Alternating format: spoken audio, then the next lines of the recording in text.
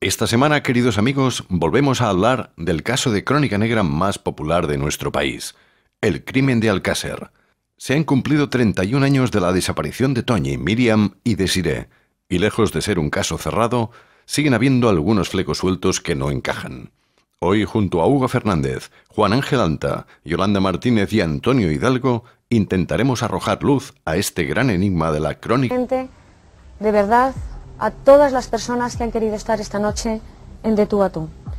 Yo quisiera, en primer lugar, saludar a la última persona en llegar, porque la noticia le pilló en Londres. Él seguía luchando, pidiendo fervorosamente, pues ya no solo en España, sino en todos los países, que atendieran, que pusieran en las cadenas de televisión las imágenes de sus hijas, de su hija y de las amigas de su hija desaparecidas. Le pilló muy lejos y muy lejos ha tenido que vivir ese triste momento en el que un padre recibe la noticia de la muerte, el asesinato de su hija y de las amigas de su hija. Así que eh, personalmente, si me permiten todos los invitados, le quiero saludar a Fernando. Fernando, buenas noches. Pido que te acerques el micrófono Sé que es muy difícil esta noche para ti. Apenas unas horas donde te has estrechado con tu mujer, tus hijos, tu familia.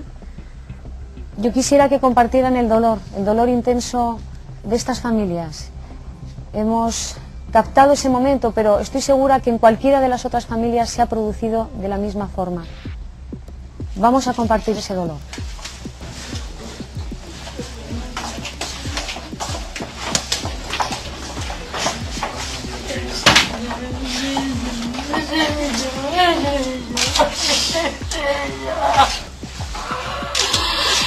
Ay, Jesús. Enseña, enseña, yo no me podía creer. Enseña, enseña, enseña. Ay, sabe para que me lo Estamos en directo está, se puede decir que todo el pueblo de Alcácer aquí, con las familias pasando estos momentos. Hola, ¿cómo te llamas? Yo, Guillermo. Guillermo, ¿qué, qué nos quieres decir a toda España? Buenas noches. Yo no soy de aquí, soy de un pueblo cerca, soy de Aldaya. Y la verdad es que a mí me gustaría ver la cara de esta gente que ha hecho esto. Tengo una cosa dentro, como me imagino que mucha gente de aquí y mucha gente de España. Solo pido una cosa. Bueno, pedir por pedir. Pero que, ¿por qué siempre es al pueblo? Y cuando es al pueblo, a la persona a la cual han cogido y ha matado, la meten en la cárcel y hasta aquí hemos llegado. Pero cuando, por alguna circunstancia, le pasara esto a un hijo, a una hija de un presidente de gobierno, de un alto cargo, ¿qué harían? ¿Lo mismo? Yo creo que se menearían mal las cosas. Cambiarían las leyes.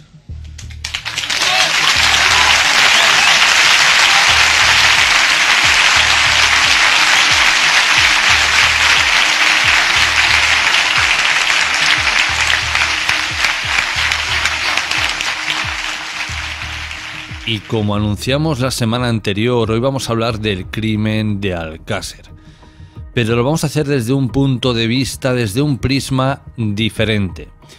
Vamos a abordar la versión, digamos, la cara B de lo que nos han contado. Vamos a ver esas versiones alternativas. Bueno, veremos lo que eh, se sostiene, lo que no se sostiene. También hablaremos de la versión oficial, lo que se sostiene, lo que no se sostiene, porque en ambas versiones se encuentra la verdad. Ninguna está en lo cierto del todo, pero ninguna tampoco está equivocada del todo. Así que ya veremos que hay cosas muy interesantes que podemos extraer de ambos, bueno, de, ambas visiones de este, de este terrible caso. Y para ello hoy nos visita nuestro buen amigo Hugo Fernández. Hugo, bienvenido, ¿cómo estás? Pues muy bien, Jorge, encantado de estar aquí una semana más contigo y sobre todo hablando del crimen de Alcácer, que es un tema que, me apasiona realmente. Hugo, por si acaso hay algún chaval joven que no sea de nuestra quinta, que nos esté escuchando y que no sepa muy bien de qué trata el tema del crimen de Alcácer, cuéntanos, ¿Qué ocurrió aquel año 1992 en Valencia? Bueno, pues el crimen de Alcácer eh, básicamente eh, fue primero la desaparición de tres niñas en, esta localidad de, Valencia, en un pueblo además pequeñito, Alcácer. En aquella época creo que tenía como unos 7.500 habitantes aproximadamente. Y el 13 de, noviembre de, 1992, pues estas tres niñas salen de casa, eh, supuestamente van a una discoteca y en ese momento pues se les pierde la pista y bueno pues 72 días o perdona 75 días después el 27 de, enero del 93 pues aparecen sus cadáveres en un en una zona pues bastante apartada en un lugar que llamaban eh, la, la caseta de la romana en una fosa pues con signos de haber sufrido violaciones torturas torturas además bastante salvajes y que bueno, que más o menos fue un crimen que se resolvió relativamente rápido y no exento de mucha fortuna, luego ya lo comentaremos, y que básicamente pues bueno, tanto la versión oficial que se dio en su día de, del asesinato de estas niñas pues no convenció a todo el mundo, en especial a uno de los padres de ella, Fernando García, el padre de, de Miriam, que fue mm, básicamente pues quien, quien dio todo el tema a conocer, junto con, con Juan Ignacio Blanco, que era un criminólogo del, caso. Y bueno, mm, paralelamente a esto, gracias a sus investigaciones, salió una versión alternativa que ya la analizaremos también, aunque yo no estoy muy de acuerdo con ella, en algunos puntos sí, en algunos puntos no, en que puede haber más mm, personas implicadas en el crimen que Miguel Ricard y Antonio Anglés, que fueron quienes en aquel momento se desacusaron de ello, eh, de hecho, al final del juicio, la sentencia deja abierta la posibilidad de que más personas participasen en el crimen. Y bueno, pues así un poco, mm, muy someramente, para quien no lo conozca, pues básicamente estamos hablando de, pues de, ese triple crimen de estas tres, tres, niñas de 14 y 15 años, eh, Miriam, Toñi y, y Desiree. Yo siempre creí que para resolver lo que ocurrió aquel viernes 13 del año 92, se tendría que haber resuelto primero lo que ocurrió en el año 89 en Macastra, aquellos tres chavales, aquellos tres adolescentes de la misma edad prácticamente de Miriam, Tony y Desiree, eh, que fueron asesinados de una forma similar a las niñas de Alcácer, en un lugar que Antonio Anglés y Miguel Ricard conocían muy bien, es decir, que para mí este crimen, y eso es una opinión personal, también lo cometió el clan de los, de los Angles. Si se hubiera resuelto aquel en, en ese momento, bueno, pues quizá el crimen de Alcácer no se hubiera producido. Ya hablaremos largo y tendido dentro de unas semanas sobre el crimen de Macastre, pero bueno, Hugo, me gustaría saber tu opinión al respecto. Bueno, eh, yo casi en ese sentido podría darte, podría darte la razón también, Jorge. Yo creo que son dos crímenes que están bastante relacionados. El crimen de Macastre ocurrió el 14 de enero del 89, eh, unos tres años antes aproximadamente del crimen de Alcácer. También, como decías, estuvieron involucrados, eh, o bueno, las víctimas fueron tres, tres chicos jóvenes, un chico Francisco de 14 años, estaba también Rosario de 15 y Pilar también de 15 años. Eran tres jóvenes de una clase social bastante humilde. Eh, lo que tú decías, coqueteaban con las drogas. De hecho, eh, se sabe, por ejemplo, que Francisco pues mm, había consumido cocaína, eh, ocasionalmente consumía también heroína. Anglés era un camello bastante famoso en la zona de Valencia en aquella época, prácticamente el piso. Bueno, de hecho, incluso la familia Anglés, anteriormente al piso de de Camil Real, que fue donde atraparon a, Miguel Ricard y donde la Guardia Civil fue a buscar a, Antonio Anglés cuando aparecieron las, las niñas de Alcácer. Ellos anteriormente vivían en otro domicilio, no recuerdo ahora mismo exactamente la calle, pero tuvieron que mudarse incluso de allí porque los vecinos protestaban mucho porque aquello era prácticamente un narcopiso y, y la gente que iba por ahí, pues bueno, no les inspiraba ninguna confianza y los vecinos incluso hicieron protestas para que, para que los angleses se fuesen de, de, de aquella casa. De aquella, de aquella casa. Eh, el crimen de Macastre quedó sin resolver. Fueron eso, el asesinato de, tres jóvenes, además en bastantes extrañas circunstancias, porque a primero apareció el cadáver de una, de las chicas, apareció el cadáver de Rosario, creo que fue, si mal no recuerdo, en una caseta también. Eh, tenía la ropa bajada, parece que había sufrido eh, violación. Eh, se encontró un líquido blanquecino en la vagina que pensaban que podía ser semen, aunque nunca se llegó a, analizar o nunca se supo si realmente había sido semen o no. A 400 metros, pero bastante tiempo después, aparece, aparece Francisco. Eh, cerca de Francisco había también un pico. Aparecen señales de haber sido usadas velas alrededor del chico, igual que pasó en la, en la caseta de la Romana, que también había señales de haber, de haber utilizado velas. Y mm, luego después lo que tú me decías, el cadáver de Pilar, que fue encontrado bastante tiempo después, eh, había sido, le había sido, mm, digamos que arrancada o cortada, mejor dicho, una mano y un, y un pie. Además lo habían hecho con una motosierra, una cosa bastante, bastante singular y un poco bastante siniestra. Y ese pie de Pilar fue a aparecer en la calle Alcácer de Valencia un 27 de enero del 89, justamente eh, cuatro años antes de aparecer las niñas de Alcácer, que también aparecieron un 27 de enero. Entonces ese pie en esa, en esa calle Alcácer de Valencia fue donde dio pues un poco esta teoría de la conspiración de que, de que esos dos casos podían estar relacionados. Bueno, tampoco fue tan teoría de la conspiración porque de hecho a Miguel Ricard en el juicio le llegaron a preguntar si él tuvo algún tipo de, de pues de relación con el, con el crimen de Macastre, que él negó en todo momento. Pero lo que sí que resulta curioso es que en la huida de Antonio Anglés, que luego ya si quieres hablaremos de ella, cuando Antonio Anglés toma, digamos, por rehén a ese pensionista en, en Marchante, que bueno, pues que se sube a su furgoneta y lo obliga a, a conducir prácticamente hasta llegar a Minglanilla, cuando la policía va a investigar la zona donde, donde este pensionista eh, dejó a Antonio Anglés, que le manda que se pare allí, lo deja allí, él se vuelve a su casa, cuando la policía va a investigar mm, la zona, encuentran varios enseres eh, que podía haber usado Antonio Gales en la huida, pues un bote de colacao, algo de comida, una manta que había robado a, este pensionista, y entre esos objetos aparece un cuchillo. Y cuando el, cadáver de Pilar aparece en, en, Macastre, en una zona de una fosa, el cadáver, cerca del cadáver de Pilar, hay una funda de un cuchillo que corresponde con el mismo cuchillo que, se encontró que pertenecía, que pertenecía a Inglés. Entonces ahí incluso puede ser que apunte un poco más a que quizá el primer crimen, como tú bien decías, Jorge, de, de, Miguel Ricard y, de Antonio Inglés, hubiese sido este crimen de Macastre. Y puede que no el último, eh, porque mm, cuando la policía comenzó a investigar el tema de Alcácer, eh, llegaron a analizar las cuerdas con las que estuvieron atadas las, las niñas porque hubo un caso, eh, una chica que apareció muerta un tiempo antes de, Alcácer, se llamaba Cristina Yorca, apareció, eh, pues le habían cortado el cuello, le habían dado varias puñaladas, estaba atada con unas cuerdas que la policía, según había investigado, esas cuerdas coincidían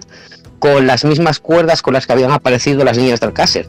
No era el mismo rollo, digamos, de fabricación, pero eran cuerdas mm, muy similares. Entonces, probablemente a lo mejor quizás si nos ceñimos a la versión oficial, que también hablaremos de la alternativa, quizá a lo mejor eh, Antonio Inglés y Miguel Ricard quizá podían ser considerados incluso a lo mejor tal vez mm, un tipo de asesinos en serie que hubiesen pasado totalmente desapercibidos hasta, hasta que ocurrió el tema de Alcácer.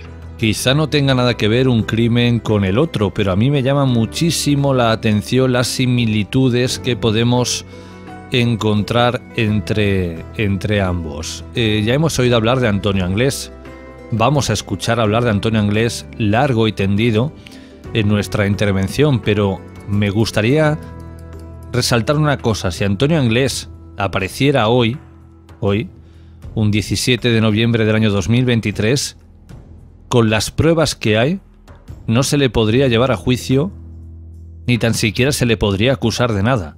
Recordemos que lo único que hay en su contra es el testimonio de Miguel Ricard, que para muchos es un mentiroso compulsivo. Sí, exactamente. Eh, es algo de, de, lo que no cabe la menor duda. No hay nada, absolutamente nada que incrimine a Antonio Inglés en el crimen de Alcácer, salvo, salvo esa confesión de Ricard. Y además apuntabas antes con mucho acierto que incluso quizá los chicos de Macastre pues frecuentaban los mismos lugares que, que Ricard y Anglés eh, el último sitio donde fueron vistos con vida fue en el, en el bar Parador, donde supuestamente también Miguel Ricard y Antonio Anglés bajaron aquella noche del 13 de noviembre del 92, mientras torturaban a Miriam Antonio y Desiré, a comprar esos bocadillos, esa ensalada y esa botella de agua. Eh, además eran asiduos de ese, de ese, de ese bar y fue el único el último sitio donde los, los jóvenes de, de, Macastre fueron vistos con vida por última vez. Eh, con respecto a lo que me decías de Antonio Anglés, sí, efectivamente, único, lo único que puede inculpar a Antonio Anglés en el crimen de Alcácer es la confesión de, de Ricard, de un mentiroso compulsivo que dio 100 versiones distintas del mismo acontecimiento, pero es que también eh, lo que nos hace que nos planteemos eh, la versión oficial parte también de la base de que no hay nada tampoco, a no ser su autoconfesión, no hay nada tampoco que, que, incrimine a Miguel Ricard, no hay ninguna prueba física o ninguna prueba criminalística que, que, que asocie a Ricard con el crimen de Alcácer. Ya iremos desgranando poco a poco todo lo que se esconde en el crimen de Alcácer. Hugo, viernes 13 del año 1992. Miriam, Toñi y Desiree salen de sus casas y deciden ir a dónde. Pues ese es el, ese es el problema, ¿no? Si supiese dónde, dónde irían, ya casi se podría resolver todo. Pero es que hay muchas cosas extrañas de ese viernes 13. Eh, por ejemplo, ya partiendo de la base, eh, aquella mañana, eh, Miriam, Toñi y Desiree tenían también una, una amiga que se llamaba Esther, al parecer Esther y Desiree eran uña y carne, se lo contaban todo, eran unas amigas muy íntimas. Y esa mañana, eh, según cuenta Esther, ella llama a Desiree para convencerla de que no acuda a clase. Desiree estaba estudiando todavía octavo de GB, había repetido curso, de que no acuda a clase para ir a visitarla. Y según cuenta Esther, eh, Desiree está en su casa prácticamente toda la mañana hasta que eh, llega la madre, a punto de que llegue la madre de Esther, y entonces Desiree se va. Sin embargo, eh, ellas tenían más grupo de amigas, no eran solamente Miriam, Toñi y Desiree, tenían también una amiga que se llamaba Marisa, y esta amiga eh, ya empieza a dar una versión contradictoria, porque ella dice que ella eh, ve a Desiree esa mañana en clase, habla con ella en clase, cuando supuestamente Desiree estaba haciendo pegas para ir a visitar a Esther. Y Marisa le comenta que si le acompaña por la tarde a Valencia, que quiere ir a comprar, creo que eran unos zapatos o unos vaqueros, y Desiree le dice que no, que había quedado con, con Miriam y Toñi para salir esa tarde. Entonces ya empiezan un poco las contradicciones. ¿Dónde estaba Desiree aquella mañana? Estaba en casa de Esther, estaba en, clase. Eh, luego después hay un intervalo de tiempo también en el que no conocemos muy bien qué pasó exactamente, porque según los padres, cuando los padres van a poner la denuncia de desaparición, ellos dicen que las niñas salen de casa a las 7 de la tarde. Sin embargo, ellas ya habían salido de casa antes. Según cuenta Esther, a las 5 de la tarde llama a Desiree eh, para comentarle que qué van a hacer, que ella está un poco harta de estar en casa, porque bueno, como se encontraba enferma al parecer, llevaba unos cuantos días sin poder salir, y que bueno, que iba a salir de casa y Desiree le dice que no, que se quede en casa, que ellas van a ir a verla.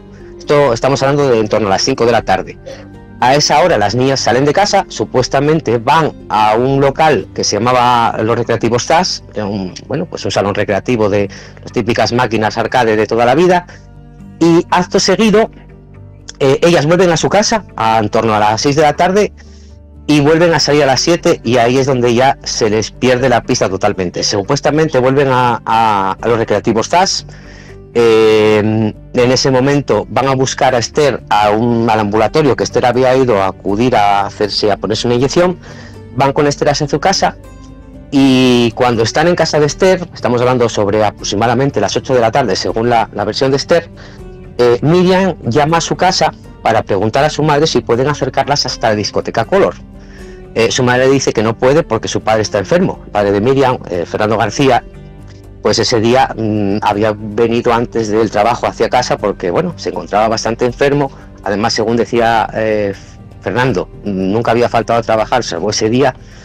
Y mmm, a mí me suena un poco como a disculpa. Miriam sabía que su padre no podía llevarla llevar a la discoteca, que estaba enfermo, porque habían coincidido en casa. Sabía que su padre estaba enfermo en la cama. Entonces a mí ya me empieza a sonar, el tema de Color me empieza a sonar un poco como, como a una, una pequeña excusa, ¿no? Yo creo que las niñas si van a ir a otro sitio, voluntariamente, y pusieron un poco la disculpa de, de ir a Color.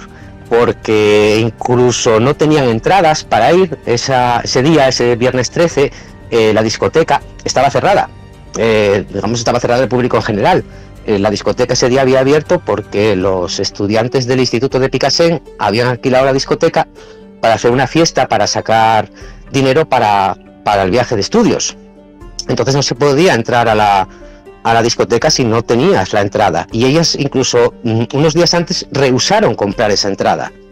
Eh, el hermano de Miriam, Fernando, eh, cuando Miriam sale de casa, le pregunta también que qué iba a hacer esa tarde, si iba a ir a la discoteca, ella le dice que no. Eh, mm, todo el mundo, mm, nadie sabe que va a ir a Color, solamente la, digamos que la idea de ir a Color nace de, de lo que cuenta Esther. Además, las, eh, versiones de Esther y su madre de a qué hora abandonan las niñas la casa tampoco coincide. Según Esther se van a las 8 de la tarde, a las 8 y 20 para ser exactos. Según la madre eh, se van a las 6 de la tarde, un poco antes, sobre las 6 menos cuarto. Eh, hay cosas ahí que ese día no, no cuadran, no cuadran, Jorge.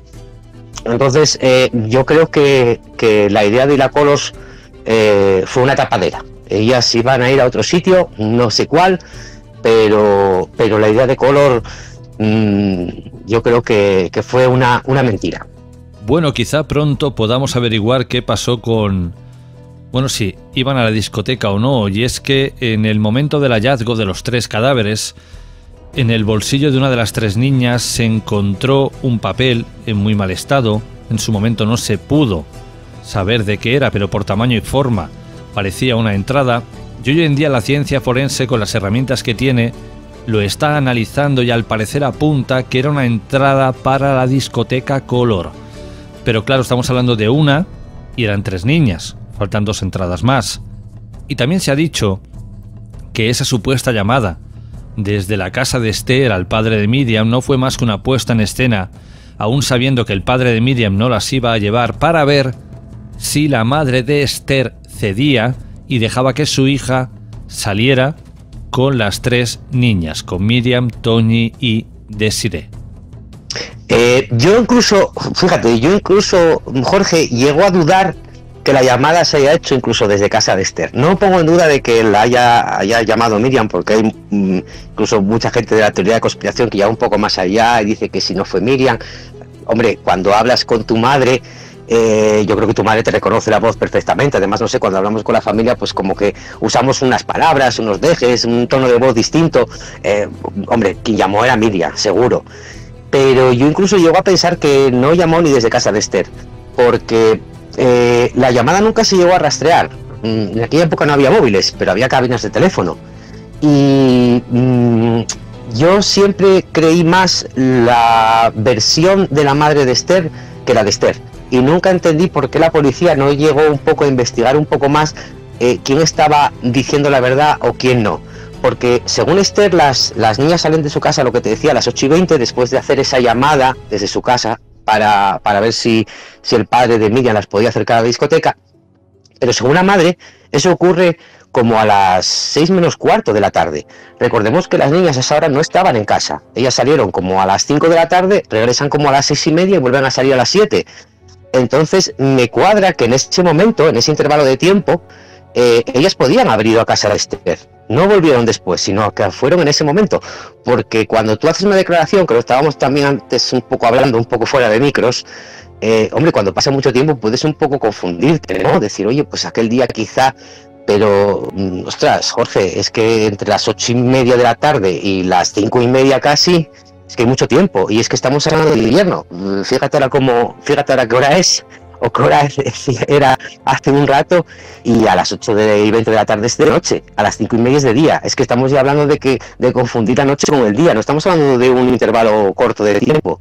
Yo, bajo mi punto de vista, yo claro, no, no soy nadie, yo por lo que por lo que sé del caso Alcácer, yo mi teoría es que esa llamada se hizo desde otro sitio. Yo creo que ellas fueron a ver a Esther, estuvieron con Esther antes cuando la madre dice que las vio sobre las cinco y media de la tarde, seis, salir de casa, ellas vuelven a la casa, no sé a qué, cambiarse de ropa, coger dinero, no lo sé, y vuelven otra vez a salir.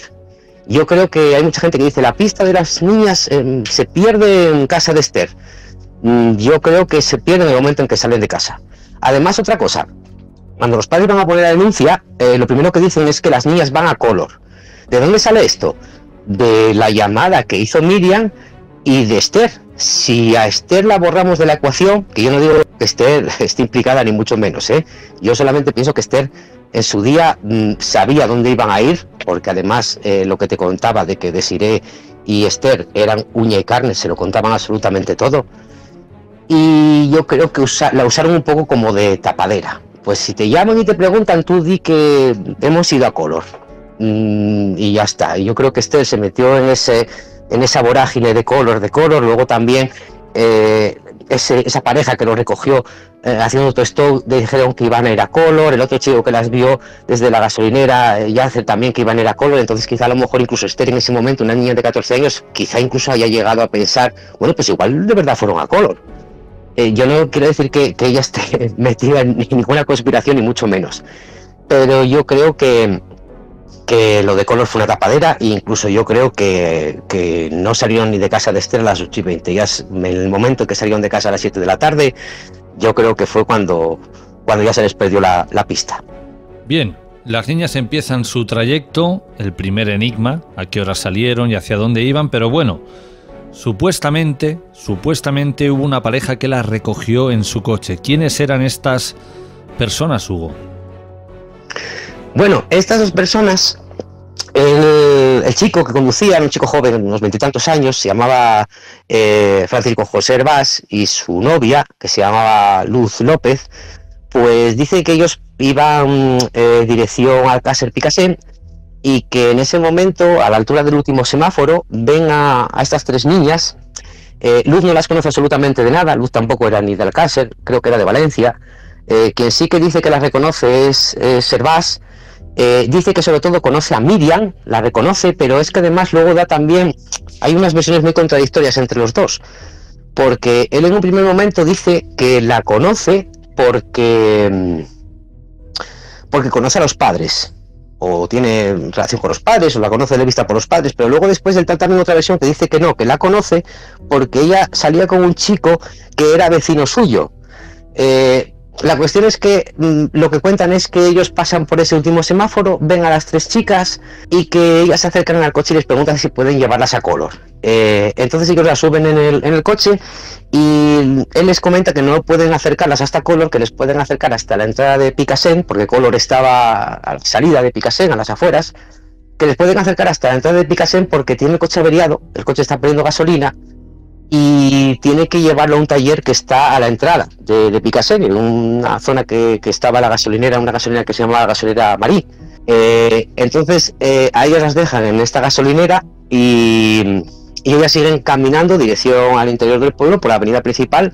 se encuentran con Carlos Yacer, que era un chico que iba bajando en moto desde Color hasta, hasta Silla a ver a la novia que fue precisamente quien les había ofrecido las entradas unos días antes, porque él colaboraba con la fiesta del instituto, eh, pero la primera declaración que Carlos Yacer da a la Guardia Civil, que yo es la que tomo como más fiable, porque luego está la declaración del juicio, el juicio fue en el 97, Jorge, estamos hablando de que pasaron cinco años. Cinco años, la memoria eh, no la tienes tan fresca como una declaración que haces cuatro o cinco días después. En la primera declaración que hace ante la Guardia Civil, él no las llega a reconocer. Él dice que pasa en moto, ve tres chicas que cree que son ellas, las saluda con la mano, ellas le saludan con la mano y él cree que son ellas, pero tampoco da, lo da como algo seguro. Luego después cuando llega al juicio, bueno, se monta ahí una película que sí que eran ellas, incluso que ve el coche de, de Anglés y Ricard parar un poco más arriba, donde la ermita, y bueno, mm, de película del todo. Yo me tomo la primera declaración en la que, en la que él dice que no está totalmente seguro de que sean ellas. Entonces, por eso yo te decía que se pierde un poco la pista en el momento en que ellas salen de casa, porque Carlos Yacer no las llega a reconocer exactamente. Eh, esta pareja que las lleva en coche, que hay muchas contradicciones entre ellos, incluso en la contradicción en qué coche estaban viajando, eh, no se ponen de acuerdo de si era un, un, un dorado o un, o un de color blanco. Eh, ella tampoco, Luz, la, pareja de Herbás, tampoco las conocía, solamente Herbás y de vista a Miriam, según decía, tampoco sabemos bien exactamente cómo la, cómo la llegaba a reconocer. Entonces yo por eso pienso que la pista de las niñas se pierde en el momento en que sale de casa. Eh, no tengo muy claro si realmente Herbás y Luz llegaron a llevarlas en coche a, a porque tampoco por la por, todas las contradicciones que hay entre ellos, no me creo ni la versión de uno ni la versión de otro. Y luego este chico, Carlos Yacer, que supuestamente las ve, pero tampoco sabe exactamente qué, son ellas. Y luego, bueno, ya el caso de, de esta mujer de Dolores Badía, que dice que las ve subiendo en un coche, eh, pero no coinciden muy bien los horarios de cuándo las ve, porque dice que las ve como a las 8, pero eh, según la Guardia Civil, eh, a la hora que se encendían las farolas, que era cuando ella dice que las vio, tendrían que ser mucho antes. Entonces, mm, yo creo que la pista se pierde ya directamente en, en, en Alcácer, Jorge. Este es el último punto donde se ve con vida a las tres niñas y a partir de aquí, Hugo, ¿qué ocurre? Bueno, según la versión oficial, eh, las tres van dirección a Color, efectivamente, y ellas cuando están en, en Picassén, en la calle principal prácticamente, que es cuando esta mujer, eh, Dolores Badía, dice que desde la ventana ve tres chicas que ella cree reconocer como Miriam Toñi de Siré, que estaban paradas en la calle haciendo esto y que un coche blanco, pequeño, un coche que iba ocupado, según cuenta esta mujer, por cuatro ocupantes, porque incluso a ella le impacta el que viniesen ya cuatro hombres en el coche y se subiesen las tres niñas, que ya no, eh, pues no se le cuadraba que pudiesen ir siete personas en un coche que además ella decía que era pequeño, un coche blanco pequeño y que ella dice que tenía cuatro puertas el vehículo, porque no vio a nadie bajar del coche para que las niñas se subiesen, simplemente se subieron. La Guardia Civil hizo sus investigaciones, vio que desde la ventana eh, podía haber visto la escena perfectísimamente, lo único que es malo es que no cuadraban las horas. Eh, supuestamente ellas salen de casa de Esther a las 6 de la tarde, o bueno, a las 8 de la tarde, pero bueno, vamos a irnos a, a lo que yo creo realmente, que salen de sus casas a las 7, porque no van a mentir sus padres a la hora que salen de casa. Entonces a ella no cuadran los horarios, porque ella dice que las ve sobre las 8. Sin embargo, ella dice que recuerda exactamente la hora, porque en ese momento justo se acababan de encender las farolas de la calle. Eh, y según investigó la Guardia Civil, pues las farolas de la calle, ser invierno, se encendían mucho antes, se encendían sobre aproximadamente como las 6 de la tarde aproximadamente. Entonces, ¿qué pasa? Que ahí ya partimos de la base de que mm, probablemente la confesión, o bueno, el testimonio de, de Dolores Badía, de esta mujer, mm, se ha equivocado, no haya visto realmente a las niñas. Pero, sin embargo, eso que cuenta Dolores de que se suben en un coche blanco va a ser eh, lo que dé pie a que se detenga a Miguel Ricard. Porque cuando la policía acude a casa de Antonio Inglés, una vez que aparecen los cadáveres, eh, llega Miguel Ricard y prácticamente fue un poco así la detención, ¿no? Miguel Ricard llega a casa y le preguntan, ¿tú qué coche tienes tú? Un Opel Corsa blanco. Ahora, pues te tenía.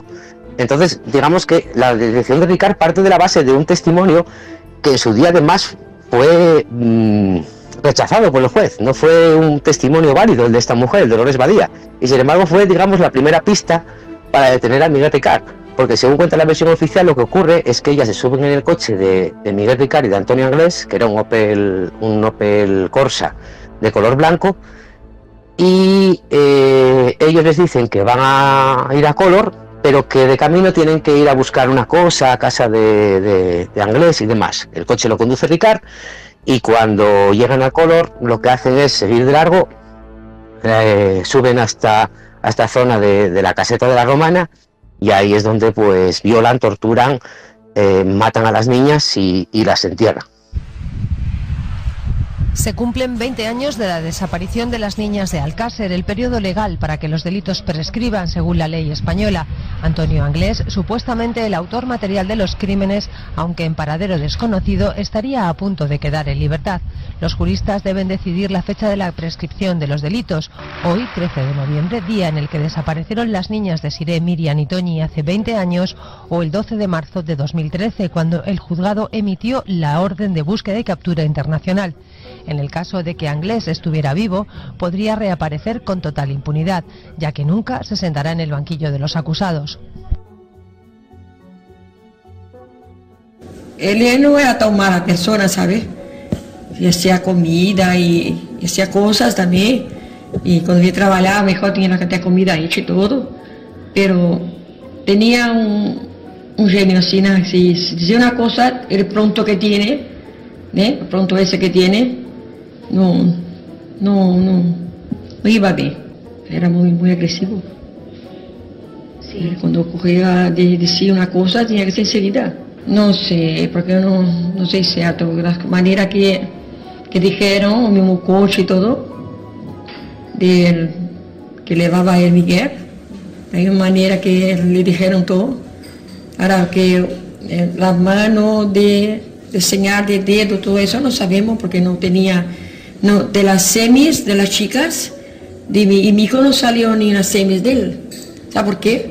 Porque me ha hecho prueba a mí de, de sangre, de mía, y no salió ni un nada de que era violó a las chicas. Padecía también, él era muy, ¿sabe? Muy- Todo positivo, negativo no quería, el Antonio y todo. Quería vencer las órdenes de todos. Si no, se ponía nervioso, ¿no? Y sin embargo no bebía ni alcohol ni nada. Antonio no bebía alcohol, ni fumaba, ni, ni tomaba pastillas, ni nada. Era- bebía agua, era- vivía con su dieta, ¿sabe? Mm, Ahora yo no sé si está vivo, habrá hecho alguna estética, ¿no?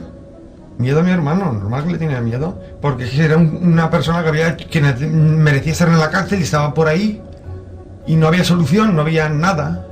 Me, hacía coger hasta mi identidad y todo. Yo, yo, a pesar sin saber nada. Cogía, decía que eso era un pequeño favor para mí, para escaparse luego. Y yo, ¿yo qué iba a hacer? Yo sabía que había, cosas, chantaje, había tonterías de por el medio. Yo tenía que aguantar. ¿eh? Si a mí no me ayudan, no me ayudan, ¿yo cómo voy a ayudar? Mi hermano en prisión pegó 5 o 6 violetas. Mi hermano los violadores lo tenía muy claro que no. Es igual que yo, los violadores se les corta los cojones, ¿sabes? Porque las mujeres es lo único que tenemos. Que hayamos nosotros si no tuviéramos mujeres. Mi relación pues la he llevado de todas las maneras. La he llevado mal cuando era jovencito y después pues la llevé un poco bien. Y después la he llevado mal con él y ahora para mí ya como si mira, está muerto, para mí está muerto. Bien, hasta aquí las pistas de las que tira la policía, pero paralelamente el padre de una de las tres niñas investiga por su cuenta porque para él la línea de investigación oficial no acaba de esclarecer del todo qué es lo que podría haber ocurrido. Sí, efectivamente. Él incluso es quien más se moviliza cuando, cuando las niñas desaparecen. Él, pues prácticamente es quien solo inunda todas las televisiones con los carteles de las niñas de Alcácer, viaja a diferentes medios de comunicación, se reúne incluso con políticos. Eh, digamos que él es el que mueve todo este tema de Alcácer para que no caiga en el olvido. Entonces, eh, él nunca se creyó realmente esa versión oficial. De hecho, cuando él va a hacer, eh, digamos, el parte de denuncia de la desaparición, él, igual que a mí, ya le chirría de que fuesen a color. No le cuadra mucho aquella, aquella versión de que, de que fuesen a color. Eh, entonces, eh, él es el que empieza a mover todo el tema, pero mm, precisamente eh, cuando él está fuera de España, está en Inglaterra, pues llevando carteles a la BBC para, bueno, que saliesen las fotos de las niñas en los países árabes, eh, mm, es cuando aparecen los cadáveres de las niñas. El 27 de enero del 93, eh, cuando además, mm, que claro, esto mm, alimenta mucho la teoría de la conspiración, porque justamente cuando aparecen los cadáveres de las niñas, que ya contaremos si no cómo, cómo aparecen, quién las descubre, en ese momento no estaba ningún miembro de la UCO, porque la UCO se había desplazado a Valencia, estaba casi recién formada en la Unidad Central Operativa de la Guardia Civil, digamos la élite, habían viajado a, a Valencia a retomar el caso desde cero, no se encuentra ningún miembro de la UCO porque estaba de relevo, eh, no hay ningún coche disponible para subir a la partida de la romana porque todos están en el taller, tiene que llamar la Guardia Civil a una a, un, a otro cuartel de al lado para que les envíen que les envíen un, un- coche patrulla. Y además incluso eh, la Guardia Civil en aquella época en la zona tenía dos, dos digamos dos divisiones distintas, una de delitos económicos y otra de delitos contra las personas cuando aparecen los cadáveres, pues lógicamente quien tiene que ir a hacer el levantamiento es la, unidad especializada en ello, la de delitos contra las personas, pero sin embargo estaban también de descanso. Entonces tuvieron que hacer el levantamiento de cadáver los de la unidad de delitos económicos. Ahí fue pues la chapuza de levantamiento de cadáveres que se hizo en, en su día. Y bueno, esto fue un poco el cúmulo de circunstancias que empezaron a mm, hacer pues crecer esa teoría de la conspiración de que algo en el caso Alcácer no encajaba. Porque lo que te decía, la detención de Miguel Ricard se produce simplemente por este testimonio de esta Dolores de que vio un coche blanco cuando fue totalmente rechazado y luego también eh, cómo se pone eh, la policía en la pista de Antonio Anglés pues también es un tanto surrealista, con aquellos papeles que aparecen en la fosa y demás. Vayamos con uno de los primeros puntos de esta historia que, bueno, que está lleno de incongruencias y es que aquí hay mucha tela que cortar. Hugo, supuestamente quién encuentra los tres cadáveres de las niñas. Bueno, pues los tres cadáveres de las niñas son encontrados por los apicultores, por eh, José Sala y, Tomás Aquino, eh, era un, pues, el dueño, digamos, de aquellas tierras donde estaba la partida romana y luego su, su consuegro habían subido el día 27 de enero a ver unas colmenas que tenían allí, eh, cosa que también un poco ya también alimenta a algunos conspiranoicos porque dicen que eh, pues el 27 de enero que no es época de ir a visitar las colmenas. Hombre, sí, puedes ir a visitar las colmenas el 27 de enero y cuando quieras. De hecho, incluso hay abejas que tienes que alimentarlas en cierta época del año. Además, según contaban ellos, no habían ido desde hacía varios meses porque aquel invierno había sido con un tiempo bastante malo, había llovido mucho y hacía unos meses que no subían a la partida de la romana a ver las colmenas, pero bueno, decidieron subir aquel día. Ellos en el momento que suben llegan muy temprano, a las 10 de la mañana, otra cosa que también alimenta la teoría de conspiración, porque claro, a esas horas las abejas están muy agresivas, hay que esperar a que, a que se más o menos caliente un poco más el sol, entonces tampoco la gente se explicaba por qué habían ido tan temprano hacia allí, pero yo creo que lo que pasa es que eh, Aquino era el propietario, la familia era la propietaria de aquel terreno, él según cuenta prácticamente se había criado por allí, entonces a él le gustaba siempre ir un poco antes, por hasta donde yo sé, para dar una vuelta por ahí por los alrededores y mirar un poco las casas de la caseta de la Romana y otras casas que hay un poco más abajo. Entonces cuando llegan allí, eh, él da un paseo y en ese paseo entre la casa de la Romana y las otras casas que hay un poco más abajo hay una senda, pues ahí aparece una mano, o ellos dicen que aparece una mano con un reloj al, en, una, en, una, zona donde había una, una, parte que estaba como las, como las hierbas ahí encima para tapar aquello y entonces inmediatamente ellos ya es cuando ponen esto en conocimiento de la Guardia Civil y cuando, cuando llegan ahí la Guardia Civil pues descubren que, que son las tres niñas cárcel, supuestamente. Porque pasa una cosa también rara aquel día y es que eh, supuestamente cuando los colmeneros van a dar el parte de que, de que han visto aquella, aquella mano en el paraje de la Romana, pues como te decía, no hay vehículo para subir, tienen que esperar a que llegue un vehículo. Y en ese momento llega un coche negro eh, con dos personas vestidas de negro, de paisano, y le dicen a Aquino que suba con estos dos arriba y que Sala se queda abajo esperando a que, a que, a que lleguen el resto para que les guíe cómo subir hasta, hasta la partida de la romana, porque al parecer es un camino bastante, bastante difícil. Eh, aquí ya empiezan a fallar cosas porque mm, estos dos misteriosos hombres de negro, a día de hoy se sabe que fueron dos policías judiciales, pero según el parte de, de la policía judicial, con Tomás Aquino suben tres agentes. Y él siempre dice que subieron dos personas con él, que él, iba él con otros dos. Entonces ya no sabemos muy bien qué pasó con ese otro agente judicial que desapareció. Eh, cuando llegan arriba, entonces ven los cadáveres. Eh, hay unas cosas que me llaman la atención, por eso te las cuento un poco más detallado.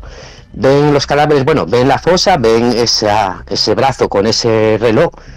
Y en ese momento, pues a Aquino le dicen que bueno, que busque un poco pistas por ahí, a ver si encuentra algo mientras llega el juez. Y es en ese momento donde aparecen unos papeles.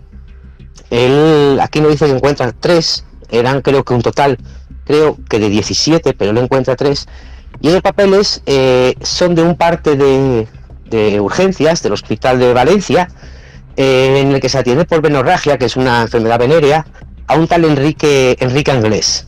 Entonces esos pequeños papelitos, al reconstruirlos, es ya donde da esa primera pista. Lo que nadie se explica es que cómo pudieron sobrevivir unos papeles hechos añicos cerca de la fosa cuando aquel invierno fue muy muy lluvioso Incluso en la partida de la romana hubo vientos huracanados de hasta, de hasta casi 106 kilómetros por hora. Entonces ya es un poco lo que no cuadra. ¿Cómo es que pudieran aparecer aquellos papelitos intactos, o bueno, o tan intactos para conseguir reconstruirlos y leer un nombre? Pero a mí hay otra cosa que me llama aún más la atención, y es que cuando aquí no está arriba, eh, él dice que uno de aquellos agentes que subieron con él, de aquellos hombres, de repente encuentra una camisa, una camisa, perdona, una, una cazadora vaquera, y dice, esta es la cazadora de Toñi, aquí están enterradas las niñas de Alcácer. Incluso saca tres cinturones de algún sitio, porque dice Aquino que no ve de dónde los saca, simplemente llega ahí y dice, mira, aquí están los tres cinturones. A mí lo que me llama la atención es que esto lo cuenta Aquino, que subió arriba con los con estos dos policías judiciales, pero abajo, como te decía, en el cuartel de Patray se quedó se quedó Sala, esperando para subir pues con el juez de Alcira cuando llegasen y demás. La policía llama, o la Guardia Civil llama a, bueno, al enterrador para que suba a, a sacar el cadáver y el enterrador se presenta en el cuartel de Patrais donde está, donde está Sala y él pensaba que iba a recoger el cadáver de algún pastor o algo, y cuando ve ahí a Sala, según cuenta el, el, enterrador, Carboneres, eh, le pregunta, ¿es usted familia del difunto y demás? Y dice, no, no, yo no soy familia del difunto, eh, nosotros encontramos allí una, una, una fosa y tal, y había, vimos tres cinturones. Entonces eso ya no me cuadra, porque los tres cinturones se encontraron cuando estaba solamente Aquino arriba con, con los otros dos agentes. ¿Cómo sabía Sala que estaba en el cuartel, que no se había movido de allí, que ahí arriba habían aparecido tres cinturones? Eso es lo que cuenta al menos el funerario Carboneres. Entonces ya hay muchas cosas aquí, en el momento de descubrir los cadáveres y las pistas que van a conducir hasta Antonio Ángeles al final, que ya suenan un poco, pues, extrañas, Jorge. Bueno, Hugo lo ha dicho finamente cuando hablaba de dar un paseo, pero lo que fue a hacer este apicultor era hacer de vientre. Y bueno, se alejó un poco de la otra persona, miró hacia un lado y vio ese puño que emergía del interior de la, de la tierra. Y es que alrededor de estas dos figuras hay un gran oscurantismo. Fijaros que no concedieron entrevistas nunca, no quisieron hablar con la prensa, y los pocos periodistas que se acercaron a su casa siempre dijeron que no solamente no les abrían, sino que oían dentro conversaciones entre ellos o uno de ellos y su mujer, y su mujer amenazaba con o asesinarse, suicidarse o que los iban a matar como hablara. Aquí, como he dicho antes, hay mucha tela que cortar. Sí, efectivamente, eso, eso también había escuchado. Yo creo que exactamente lo que, lo que le amenazaba a la mujer a uno de ellos era no abras o me mato. Creo que decía algo así, ¿eh? o que, como que hablabas con los eh, periodistas, yo me suicido. No sé exactamente qué, qué sabrían, no sé exactamente qué contarían, pero bueno, mmm, me huele raro. Mmm, sobre todo, fíjate, más que los papeles, más que los papeles en la fosa, que cómo pudieron sobrevivir a, bueno, no estaban enterrados en la fosa, ¿eh? estaban como por alrededor de la fosa. Más que cómo pudieron sobrevivir esos papeles mmm, a esa intemperie, con lluvias, con viento, porque yo no sé dónde estaban esos papeles, Jorge. Mucha gente mmm, de la conspiración, incluso yo en ese momento, ¿eh? pensaba de, bueno, enteran a las niñas y no se le ocurre más que a Antonio Inglés coger unos papeles y do, cortarlos ahí y tirarlos. No, no sabemos cuánto tiempo llevaban esos papeles. A lo mejor estaban desde hace mucho tiempo antes o mucho tiempo después. No sabemos tampoco cuántas veces pudieron haber subido a la romana después de, haber asesinado a las niñas. E incluso en la caseta de la romana había unos papeles también troceados, que era una multa creo que de Mauricio, Anglés o algo así, que incluso a lo mejor esos papeles estaban hasta allá dentro de la caseta y salieron fuera con el aire. Fíjate, a mí lo que más, lo que más mmm, me hace pensar de esto, fíjate qué detalle tan tonto, es ese. Es que si ellos solamente vieron esa mano o ese brazo saliendo de la fosa y inmediatamente van al cuartel a ponerlo en conocimiento. De hecho, ellos cuentan que cuando están bajando a, al cuartel van un poco discutiendo que, puede ser aquello, porque uno de ellos piensa que puede ser el cadáver, hubo un chico que en el mes de enero desapareció allí en la zona de Valencia, bueno, en Alicante creo que fue, que luego apareció el cuerpo en diciembre, y uno de ellos iba diciendo que si podía ser ese chico que estaba desaparecido, eh, otro decía que si podía ser las niñas, no se ve muy bien exactamente qué era, porque ellos en cuanto vieron eso bajaron hacia abajo rápidamente, y sin embargo eh, aquí no llega y encuentra con unos policías tres cinturones y el otro que está abajo le dice a, al, a, a Carboneres, al funerario, que, que había tres cinturones allí. Efectivamente, él también iba solamente con un ataúd, él no esperaba encontrarse más que un cadáver, él pensaba, según decía, que era a lo mejor quizá el cadáver de algún pastor, y es que después ya cuando empieza el levantamiento de cadáveres, ahí ya parece que aquello es allí que está el juez Bor, que está la secretaria del juez, que está el forense, que está la Guardia Civil, eh, mm, que están los mm, colmeneros, que está Carboneres, es que cada uno eh, parece que estuvo un desenterramiento distinto. Hay algunos que dicen que vieron unas cosas, otros que vieron otras, otros que si aquella famosa eh, moqueta que envolvía los cadáveres era de color azul, luego la moqueta parecía que no, que fuese más bien de color marrón.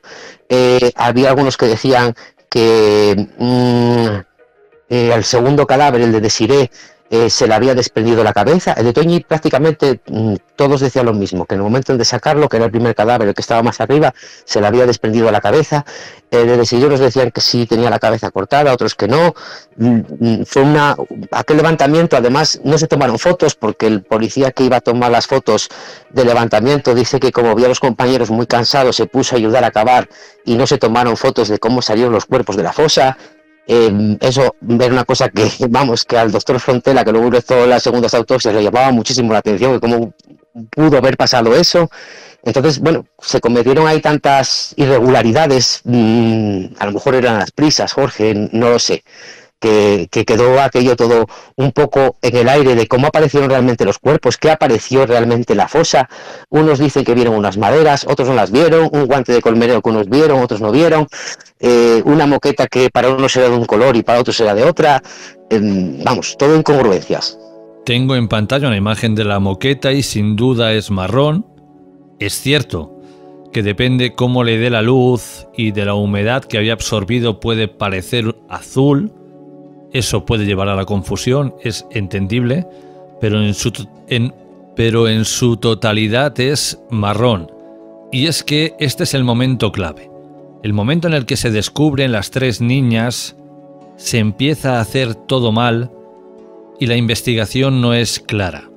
Por ejemplo, el juez en el sumario dice que cuando llega, encima de los cadáveres de las niñas hay determinados objetos, pero luego la Guardia Civil testifica que no, que esos objetos estaban debajo de las tres niñas, no encima.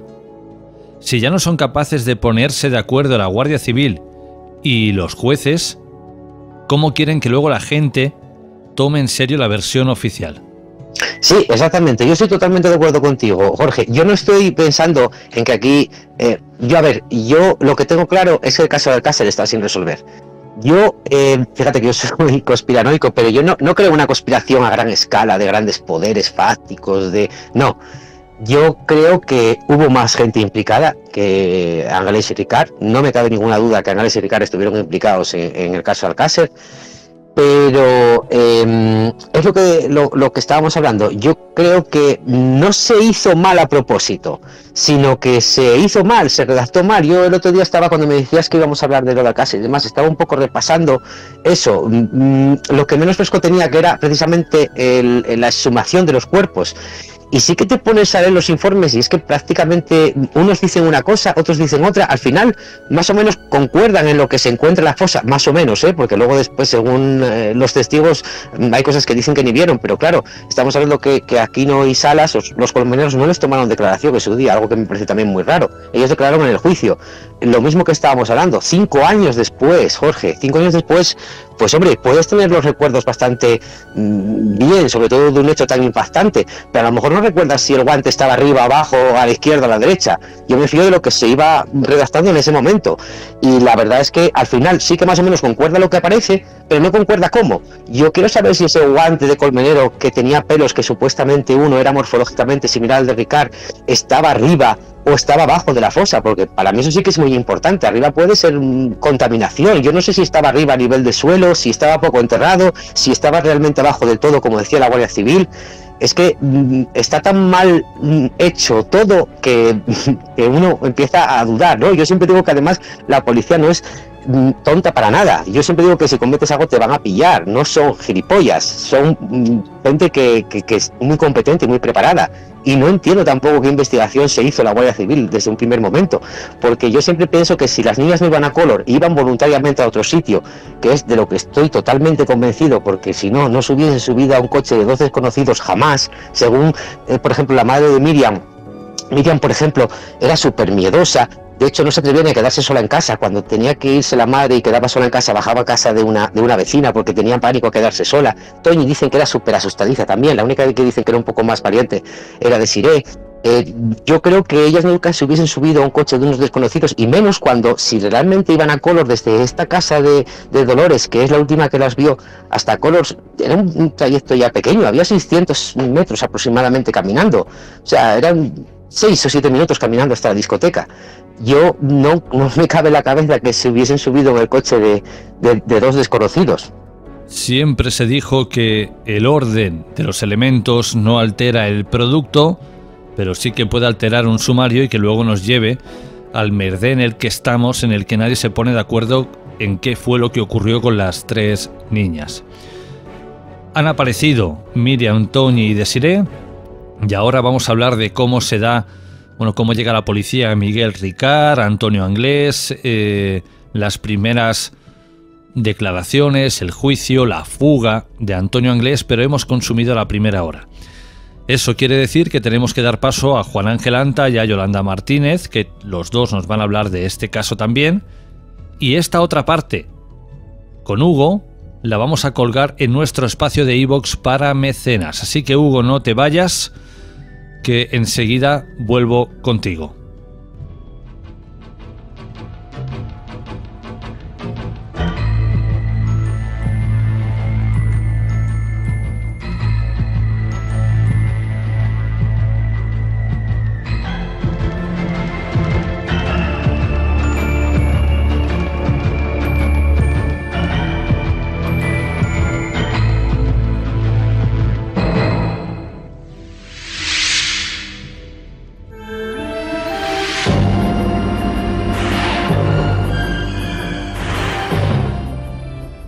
Decir Rafael Alcarrá y tiene toda la razón. El corazón de todos los ciudadanos de este país está hoy en Alcácer. Y ese es el motivo por el que nosotros estamos aquí. Más allá de un eh, planteamiento informativo, periodístico, nosotros que hemos acompañado a estas familias en la búsqueda desde el comienzo, hace 75 días, queríamos estar aquí. Y aquí estamos. El pueblo entero está ahí en la calle, han acudido a lo largo de la jornada y ahora que ya la noche se ha cerrado, el ayuntamiento sigue abierto y en los exteriores que están viendo en sus imágenes, el pueblo continúa apiñado, a la espera de noticias. Hay algunas noticias. El telediario les ha facilitado ya una información según la cual algunas personas han sido detenidas. Estas detenciones, según se nos comunica en fuentes dignas de crédito, fuentes de la investigación, están destinadas a obtener nuevos datos, nuevas informaciones. Pero, según ha podido saber nuestro propio equipo del programa, estas detenciones tienen muchas probabilidades de estar muy cerca de los autores. Y los autores podrían pertenecer a una comarca muy próxima a esta en la que nos encontramos, que es la comarca de Lortanor. A esta comarca pertenece el pueblo de Alcácer y la comarca a la que podrían pertenecer los autores del crimen, horrendo crimen como le ha calificado el Pleno del Ayuntamiento de Alcácer, podrían pertenecer a la Ribera. Incluso, según alguna información que yo les facilito todavía con reserva, podrían pertenecer a la localidad de Alberic. Con reserva este dato que intentaremos confirmar a lo largo de la noche. En este minuto, a las 9 y 36, yo les quiero invitar a escuchar una de las voces ausentes hoy. Nos hemos encontrado con ella casualmente cuando visitábamos a los familiares de Toñi, de Toñi Gómez. Eh, Su madre, cuando ha evocado la figura de su hija y el último día que habló con ella, el viernes, justo antes de la desaparición, nos comentó que había tenido una intervención en una radio local y que en esa intervención había saludado a todas sus amigas y, por supuesto, a Desi y a Miriam. Y ella misma había grabado esa intervención de la que estaba muy orgullosa. Se le nota en la grabación que van a poder escuchar realmente alegre. Tenía planes muy hermosos para el fin de semana. Hola, Hola, dime tu nombre. Toñi. Toñi, ¿desde dónde, Toñi? Desde Alcácer. Desde Alcácer. Toñi, ¿cómo llevas tú la tarde de jueves? Pues bien. ¿Ya tienes más o menos planteado lo que vas a hacer ya mañana, que va a empezar el fin de semana o qué? No sé. Aún no lo sabes, ¿no? No. El caso es que en casa no te vas a quedar. No, eso está claro. Eso está claro. Toñi, Sí. venga, ¿qué quieres escuchar? Pues el Peter Ceiling El Major Tom. ¿No? ¿Y a quién se lo quieres dedicar?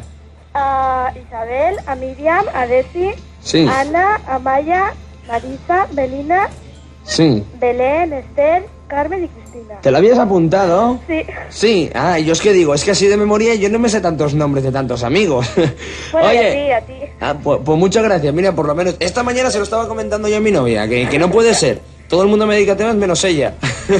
Oye, Toñi, muchas gracias por haber llamado y para ti va el mayor tom de Peter Schilling, ¿vale? Vale. Hasta luego y gracias. Y ahora vamos a abordar este caso desde la ciencia forense. Hemos analizado algunas entrevistas que en su momento concedieron los hermanos de Antonio Anglés, eh, Miguel Ricard, la más reciente, los marineros y el capitán del sitio Plymouth, y lo hemos hecho para ver si entraban en contradicciones, si estaban mintiendo o si estaban ocultando información, ya que el peso de estos personajes fue muy importante para inclinar la balanza hacia un lugar u otro. Y esto lo vamos a hacer con Juan Ángel Anta. Juan Ángel, bienvenido, ¿cómo estás? Bien, muchas gracias. Encantado de volver a estar con vosotros. Juan Ángel, ¿tú crees que todos estos personajes de los que vamos a hablar ahora en su momento, cuando concedieron estas entrevistas, eh, pensaron que con el tiempo alguien como tú las podría analizar y decir, cuidado, que aquí mintieron? No, no, no, seguro, seguro que no, porque por- en, aqu- en aquellas épocas eh, no, se, no se trabajaba sobre esto, no se valoraba, el tema de la comunicación no verbal no estaba tan en expansión y el tema de, de la veracidad de los discursos eh, tampoco, ni mucho menos. Eh, de todas formas, bueno, aquí podemos analizar, como tú bien has dicho, algunos, algunos indicios que podamos ver porque son vídeos. Lo, ideal sería que hubiéramos podido entrevistarles nosotros mismos y, y así, bueno, hacerlo de una forma todavía más profesional, ¿no? Pero bueno, con lo que tenemos sí, sí han salido algunos eh, indicios, sí se ven algunos indicios eh, que, bueno, son, son interesantes por lo menos para comentar y tenerlos en cuenta. Siempre desde la perspectiva que es un- son vídeos grabados y hemos cogido los vídeos, ¿eh? El análisis de los vídeos. Pues si te parece, Juan Ángel, vamos a ir con eh, el, hermano de los Anglés que has podido analizar, Roberto Anglés. A ver qué nos cuenta. Sí, aquí, como, como tú bien dices, pues eh, he valorado uno de los vídeos que, que me pasaste, ¿no? Y, y a, este, y este hermano de los Anglés eh, se le ve, por ejemplo, en el minuto 2 y 38, 38 segundos, ¿vale? Que, le preguntan, ¿crees que puede estar en un país sudamericano? Haciendo referencia a su hermano, ¿no? Y dice, sí, seguro. Pero lo interesante es ver cómo hace un parpadeo muy largo y cómo dice que no con la cabeza, ¿no? A la vez que está diciendo que sí verbalmente. Bueno, esto es bastante complicado de hacer si lo queremos hacer nosotros de forma natural. El decir que sí y negar con la cabeza. Eso está relacionado con una incongruencia corporal. Habitualmente porque no se está de acuerdo con lo que está diciendo o porque lo que se está diciendo es contrario a lo que se siente o se piensa. Pero bueno, este es un único indicio. Podría ocurrir que esta persona lo hiciera así habitualmente. No hemos visto que lo haga habitualmente en el resto de, de vídeos, ¿vale? Y esto es lo que podemos ver en el, en- en el minuto 2, segundo 38. Un poquito más adelante, en el minuto 2 y, y 51 segundos, eh, le preguntan, ¿te dice en algún momento que hay más gente implicada? A Eso se le está preguntando la entrevistadora a- a- al hermano de Anglés sobre Anglés, ¿no? ¿Qué es lo que hace el hermano de Anglés, Mauricio? Pues alarga el final de las palabras para ganar tiempo. Dice, a mí me dice que, y deja puntos suspensivos, había gente metida entre medio, eleva los hombros y dice que no con la cabeza nuevamente. Vuelven a ser incongruencias corporales, que lo que hacen es ir un poquito en contra de lo que dice verbalmente. Y cuando hay estas incongruencias, habitualmente es que o falta información, o están ocultando algo, o no se está de acuerdo con lo que se está diciendo. Y, y finalmente, eh, otro, otro apartado, otro punto importante en este vídeo es en el minuto 3 y 3 segundos, ¿no? Que le preguntan, ¿de, de qué gente hablaba? Y entonces dice, este es más interesante todavía, porque dice, no lo sé. No dice, no me lo dijo, no me dice, no se lo pregunté. Él dice, no lo sé, como haciéndose lo propio, ¿no? Bueno, pues todo esto eh, son indicios de, engaño, de ocultación, de, que nos falta parte, parece que nos falta parte de información. al final eh, parece que está muy enfadado con el hermano, ¿no? Por, pues, por lo que ha hecho, es también como un poco incongruente porque hasta entonces habla de una forma pues, pues natural sobre el hermano. Y lo que también es, relevante en, este, en este vídeo es, es que cuando está relatando sobre una llamada, sobre la llamada que le hicieron a él y que dice que fue su hermano, ¿no? Eh, ahí habla, eh, toda su comunicación, verbal y no verbal, parece que coincide bastante, porque habla en pasado continuamente, o sea, es muy probable que esa, que esa llamada ocurriera, lo que no tenemos tan claro solo con esto es que en esa llamada le hablara a su hermano ni le dijera eso que dice que le dijo salir de la cárcel de Picassent en libertad provisional. Parece ser que Roberto asegura que mientras esperaba la metadona en el dispensario del puerto de Valencia, se le acercó un coche del que descendió un hombre con un teléfono móvil en la mano. Desde ese mismo teléfono móvil pudo hablar con su hermano Antonio Anglés y así se desarrolló la conversación. ¿Tú eres Roberto Anglés? Y, yo le dije, sí, ¿no? Y me dijo, espérate un momento, ¿eh? hay una llamada para ti, ¿no? Y entonces se puso y me dice, oye, ¿no me conoces? Y digo, no, ¿quién eres? Me dice, soy yo, tu hermano, Antonio. Le digo, venga, va, ¿qué, qué estás diciendo, chaval? No hagas esa broma, ¿no? Me dice, oye, que sí, que soy tu hermano, Popolito. Popolito solamente me llamaba él cuando era pequeño, ¿no? Dime exactamente qué es lo que te dijo en esa conversación telefónica. Bueno, pues me dijo cómo estaba la familia, yo le dije que estaba bien. Eh, también me dijo de que, de que ya me enviaría dinero por parte de, de otra persona de que al final me dijo que no podía hablar más. Le dije, bueno, pero tú has matado a las niñas y tal. Y me dijo que no le dejaban hablar del tema con la gente que estaba. También me dijo que, que bueno, que estaba bien, que vivía bien, que estaba bien situado, estaba con gente importante, que lo querían matar al principio, pero él fue listo y dejó en, en varios bancos unos papeles eh, diciendo todos los nombres y todo, todo lo que pasó. A mí me ha dicho que había mucha gente gordéntrica de Alcácer, hay de, de Picasen y de Valencia.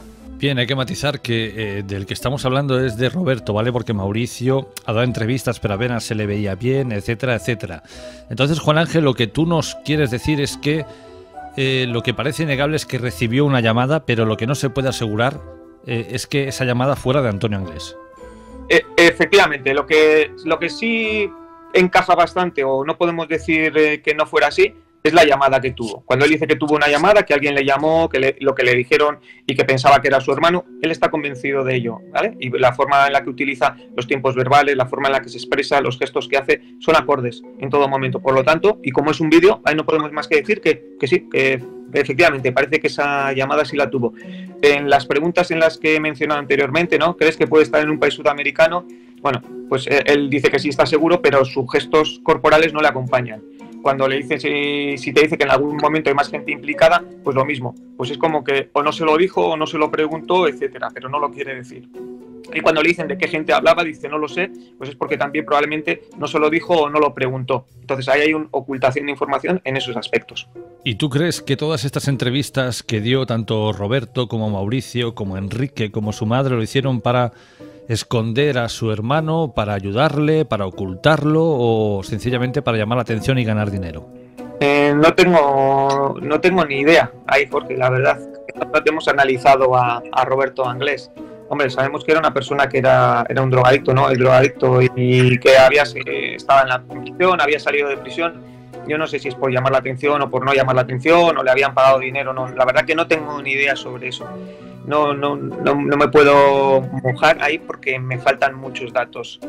Eh, no sé, no, no sé, no sé si tampoco es, en exceso relevante el por qué lo haga, sino que a mí me parece más relevante si cuando lo hace eh, su discurso es veraz o no es veraz, y en base a ello que los investigadores hubieran actuado en aquel momento.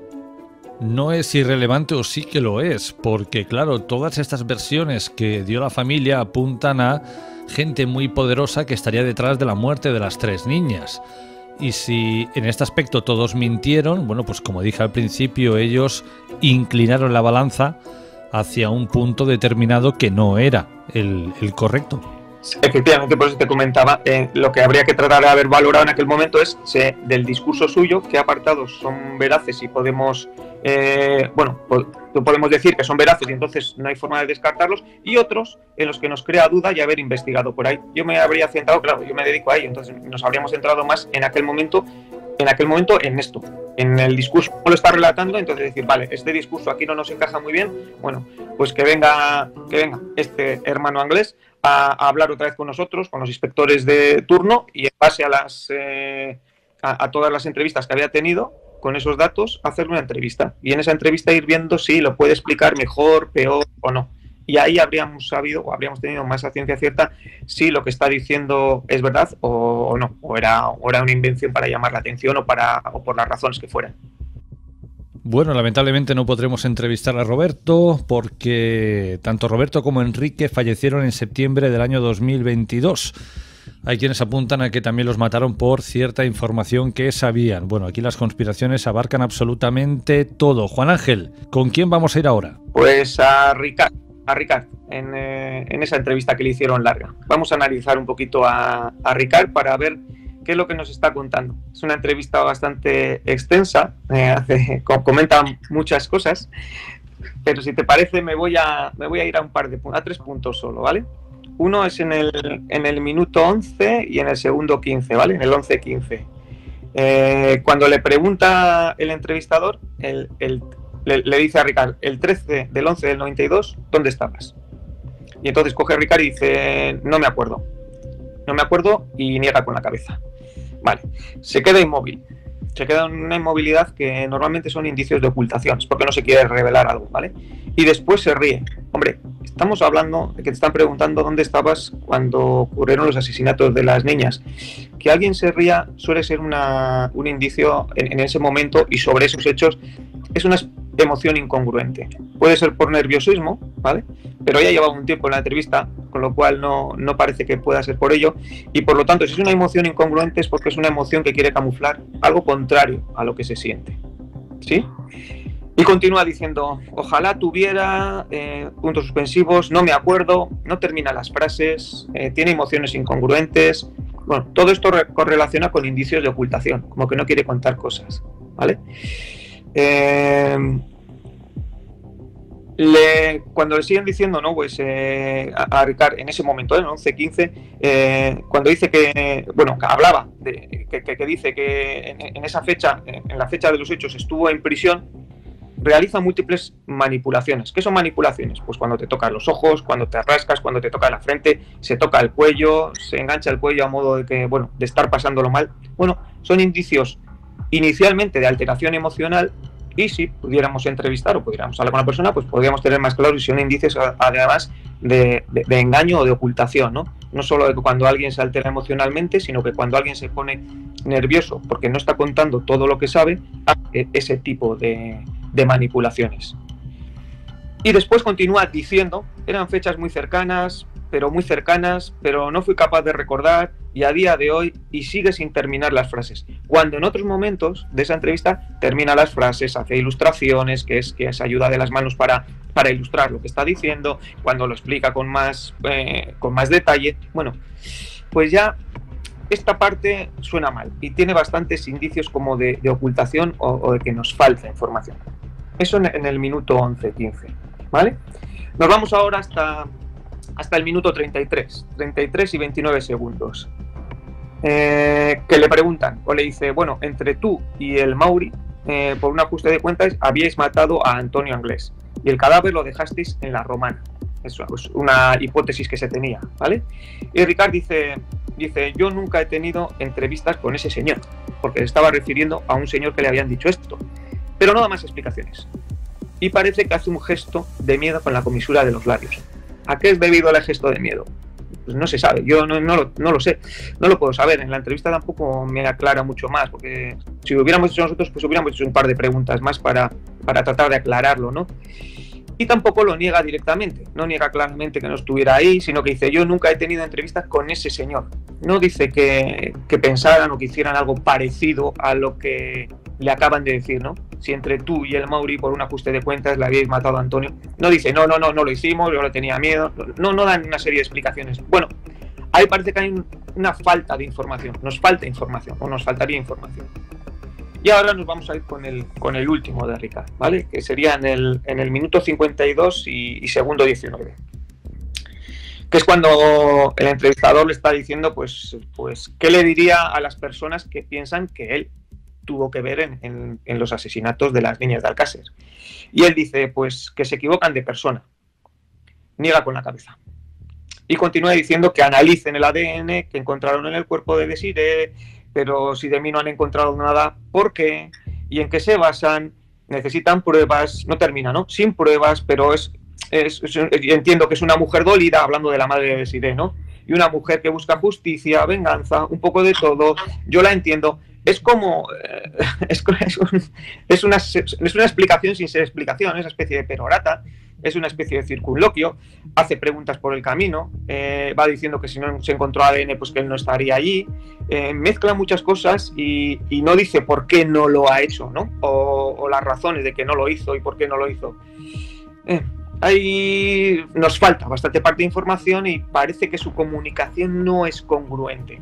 Sí hay falta de información. Hay, hay unos- bastantes indicios de ocultación. ¿Vale? Y, yo creo que es hasta, hasta ahí lo que hemos analizado de, de Ricard y en lo que podemos ver que hay una serie de indicios, eh, in- insisto, ¿eh? Porque es un, son entrevistas, son entrevistas que no hemos hecho nosotros, son vídeos grabados.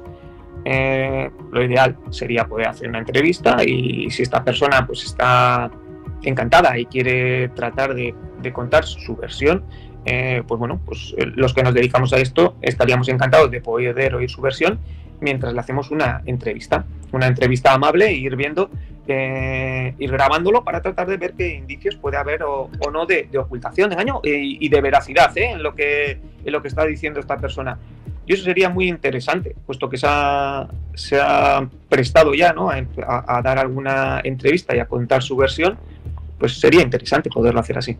Yo os voy a poner un fragmento de esa entrevista para que escuchéis la voz de Miguel Ricard, pero claro, con todos los puntos que ha dado Juan Ángel, tendríamos que poner la entrevista completa. Esta entrevista está en el rincón del disidente. Allí podréis eh, verla en YouTube y punto por punto con lo que va diciendo Juan Ángel, ver las incongruencias a través de los gestos de Miguel Ricard. hay gente que te sitúa como la mano derecha lugarteniente de, de Antonio Anglés. Eh, yo quiero que tú cuentes cómo sería tu, cómo era tu, Mi relación con Antonio no era, no era buena. no era bueno. De hecho, andábamos juntos muy poquito, muy poquito. Yo con el que me relacionaba más era con Roberto. Vale. Eh, te tengo que hacer la pregunta, Miguel. El 13 de noviembre del año 92, ¿dónde estabas? No me acuerdo. No te acuerdas. No me acuerdo, ojalá tuviera un... No me acuerdo. Claro. Es imposible. Según la Bien, aquí queremos dar un dato muy importante y es que al final de esa charla veréis que Miguel Ricard dice que está dispuesto a someterse a la prueba del pentotal sódico, lo que es el suero de la verdad, para bueno, que la gente sepa que realmente es inocente. Bien, pues Juan Ángel Anta y su equipo de Detecta tienen esa prueba y están dispuestos a hacérsela a Miguel Ricard totalmente gratuita. Es decir, si alguien que nos está escuchando ahora mismo conoce a Miguel Ricard, conoce a alguien de su entorno, eh, saben de alguna forma de poder contactar con él, bueno, pues eh, hacérnoslo llegar o, os comunicáis directamente con Detecta y ellos se desplazarán hasta donde esté Miguel Ricard o le pagarán los gastos hasta donde tenga que ir y todo absolutamente gratis para poder hacerse esa prueba y demostrar, como él ha dicho, su inocencia. Sí, so- sobre todo, eh, nos podemos olvidar, fíjate, Jorge, eh, vamos a dar el beneficio de la duda más grande que podemos tener, incluso nos podríamos llegar a olvidar, ¿no? Claro, pero no es tan, o es menos creíble cuando de eso no te acuerdas y si te acuerdas de, de fechas pasadas en lo que ocurrió en determinado día con, con Anglés y con su hermano, si te acuerdas de lo que ocurrió un poquito después, si te acuerdas de determinados, eh, determinadas mm, diálogos que tuviste en un momento previo y después de- de- del hecho, y justo en el momento en el que ocurren los hechos, tú dices que no, que no te acuerdas de eso, pues hombre, cuando menos es sospechoso. Pero bueno, eh, podría ocurrir, podría ocurrir que lo ha eliminado porque, tiene, porque le causa un gran pesar, por, por mil razones, podría ocurrir. como tú bien has dicho, en esa entrevista le, le hace un ofrecimiento para, para que se preste a, a hacer la prueba del, pentotal sódico o de la mitad sódico, se llama de las dos formas, ¿sí? Que es el suero de la verdad. Hay, que, hay que decir que el suelo de la verdad tiene bastantes problemillas. Tenía bastantes problemillas antiguamente y hoy en día yo creo que sigue teniendo los mismos, que bueno, no es eh, tan eficiente como se pensaba. El amital sódico al final es una droga que lo que hace es disminuir parte de tu percepción. Por lo tanto, esa percepción también puede ser inventada aunque te hayan aplicado el pentotal sódico. Es decir, que puedes estar en una parte de ensoñación y tú estar contando una especie de ensoñación. ¿sí? Eso por un lado y por otro lado te puede crear algún trastorno. Si, si me paso con la, con la dosis, pues eh, puede crear un problema eh, cerebral, ¿no? Puede crear una especie de psicosis, etcétera. Eh, digo por, porque lo tengan en cuenta o por lo que los vayan a hacer que lo valoren. Eh, y sí, como tú bien has dicho, bueno, pues hay otras técnicas para valorar la, veracidad eh, de los discursos o de las declaraciones.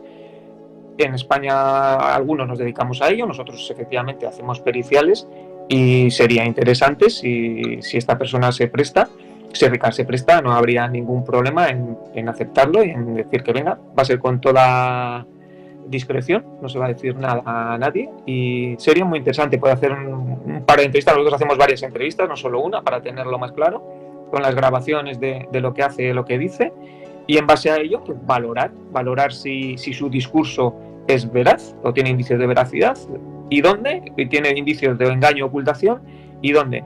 Y son entrevistas, como cualquier otras entrevistas. Fijaros que casi todo el caso Alcácer gira en torno a la fuga de Antonio Anglés y no sabemos dónde está Antonio Anglés y como hemos dicho a lo largo de nuestra intervención de hoy, si Antonio Anglés apareciera ni siquiera podría ser juzgado. Vayamos ahora con los marineros y el capitán del City of Juan Ángel. Aquí, ¿qué has descubierto? Pues mira, esto es un, esto es un poquito más complicado y entonces esto hay que cogerlo un poquito más con pinzas, ¿vale? Porque eso ya es un, son vídeos, es un documental, pero claro, pero ya está editado, han, sacado han sacado partes que sí, partes que no, las partes que podemos ver allí y, y queda bastante evidente, tampoco hace falta ser muy experto en ello, ¿eh? Se ve que tanto los marineros como el capitán ocultan información. No terminan de aclarar exactamente dónde estaba cada uno ni en el momento en el que estaba. No terminan de aclarar por qué uno tenía las llaves que era cocinero y le abría o lo dejaba de abrir. No, tenían, no terminan de aclarar por qué, aunque ese tenía las llaves, había otros marineros que pasaban por ahí, miraban de vez en cuando y le veían o no le veían o habían estado hablando con él una hora o dos horas. Pero ninguno de ellos, ni el capitán ni los que estaban ahí que no, que, que- y los que estaban vivos, claro, porque había alguno que había fallecido. Entonces, incluso cuando les preguntan muchas veces se quedan como muy inmóviles, no terminan de explicarlo bien o no pueden explicarlo y dicen, no, pues yo no sé nada más. No sé, no sé, hay, un, hay como un halo de, de- ocultación en torno a, a- Está claro, o parece que está claro, que estuvo allí, porque estos dicen que sí que le reconocen, que lo vieron allí. Se excusan muchos de ellos diciendo, bueno, pero no sabíamos que había hecho esto, por un lado o por otro, como tratando de decir, bueno, le dejamos marchar porque no sabíamos que había hecho esto, dicen unos, otros, otros no dicen nada de eso. No, no, queda muy claro si se escapó, si, si saltó por la ventana o no saltó por la ventana, si salió por la puerta o le abrieron la puerta. No queda claro nada de eso cuando tenemos a casi todos los protagonistas del barco, menos alguno que ha fallecido, en cuanto al tipo de preguntas que les han hecho, por lo menos las que hemos visto nosotros. Entonces, ahí a nosotros nos falta mucha información y yo lo único que puedo- puedo decir aquí es que tanto las entrevistas que se le han hecho al capitán como a los marineros, hay, eh, hay una especie de ocultación de información, nos falta información. Y, ya, eh, y, podríamos llegar a cualquier tipo de conclusión, o que Anglés les dio dinero, o que Anglés se marchó con droga y les dio droga a cambio de que le dejara marchar, o que saltó por la ventana y se cayó al mar, o que le tiraron al mar. Eso son ya, eh, eso es hacer hipótesis sin, sin mucho fundamento y sin tener datos concretos sobre ello, ¿vale? Entonces puede ser cualquier cosa de esas. Lo que sí parece es que, no- bueno, lo que sí parece no, no son claros a la hora de explicar todas las cosas y no queda claro ni quién fue el último, ni por qué le encerraron en un sitio y lo, cerraron con tablas. eh, y, pudo salir sin, sin, no sé, parecía que había hecho magia a la hora de marcharse. Hay muchas falta de información ahí. Eso es lo único que podemos decir, Jorge, que falta información. Bueno, en esta ocasión, para poder ver estas entrevistas, estas incongruencias, tendréis que iros al documental. Creo que era de Netflix, esa fuga de Antonio Anglés, y ahí podréis ir analizando todo lo que ha dicho Juan Ángel, Juan Ángel Anta. Juan Ángel, antes de despedirnos, tú como opinión personal, ya no hablo como experto, hablo como una persona que vio el caso eh, totalmente anonadado, ¿crees que Antonio Anglés pudo huir y llegar hasta Dublín? A mí sí me. Desde mi punto de vista, con poquitos datos, y esto no es relevante para nada, eh, y como tú bien has dicho, ¿no? Pues si ahora te entregas, pues tampoco tendrían con qué juzgarte. Eh, y creo que esto sale en muchos medios de comunicación y se puede conocer en, en todas las partes del mundo, pues hombre, a mí me da la sensación de que esta persona eh, no está viva desde hace tiempo. Pero sin mucho fundamento, ¿eh? La verdad que sin mucho fundamento, Jorge. Con lo que, con la sensación que a mí me puede dar. Yo creo que no. Bueno, llegamos al final de nuestra conversación. Juan Ángel, si alguien eh, de los que nos está escuchando, como he dicho antes, conoce a Miguel Ricard, le puede hacer llegar este programa, este mensaje, eh, para que se someta a esta prueba de forma gratuita. Juan Ángel, ¿dónde pueden ponerse en contacto contigo? Bueno, que se pongan en contacto. Se pueden poner en contacto contigo, Jorge, que nos conoces y les das los datos que nuestros o el mío personal. Y si no, que se pongan en contacto a través de, de Detecta, de la empresa, ¿no? que somos el gabinete de criminología del, del País Vasco. Pues ahí, que miren, que entren en contacto bien en la página web o con el teléfono que tienen ahí, que nos digan quiénes son y le van a poner en contacto con, le pregunten por mí, le van a poner en contacto conmigo directamente. Y si no, a través de ti, ¿vale? Y que todo se hará de forma, de forma muy, muy, muy discreta, como nos conocen, que hemos hecho otra serie de trabajos que, que nadie se sabe, pues porque no se pueden sacar a la luz. Bueno, aquí queda esta oferta única. Juan Ángel, como siempre, un abrazo y hasta la próxima. Muchas gracias, un abrazo, encantado. Para llegar al barranco de la Romana hace falta conocer bien el camino. Una pista de tierra en malas condiciones conduce a este paraje montañoso y solitario a 50 kilómetros de Valencia. Aquino, de 69 años, y su consuegro José, de 53, pasaron aquí su infancia. Ahora solo van de vez en cuando para ver cómo marchan sus colmenas.